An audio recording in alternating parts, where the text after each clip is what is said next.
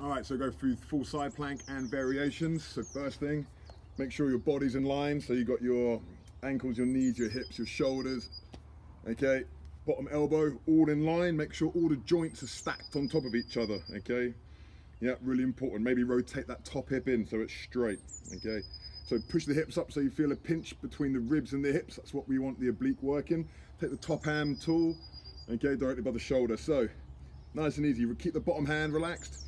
Level one, keep your bum squeezed, draw your belly button in.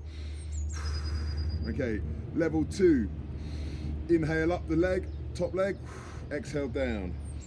Inhale up, exhale down. You can come up a little bit higher.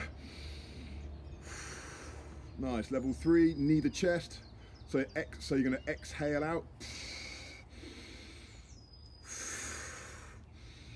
Okay, keeping that wristband straight. Make sure those hips are on top of each other. Okay, next level is the wrap around. Use your torso, your spine muscles to wrap around, touch the bottom of your butt, and then up. And then you want to go from there, top leg up, and then a rotation, okay? If you want to get real into it, knee to chest,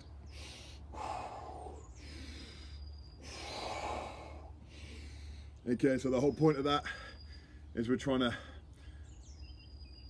keep uh, keep your hips stable while trying to destabilize them while staying stable. So those those dynamic rotational movements are really vital. As long as you keep your hips straight, you'll be doing good.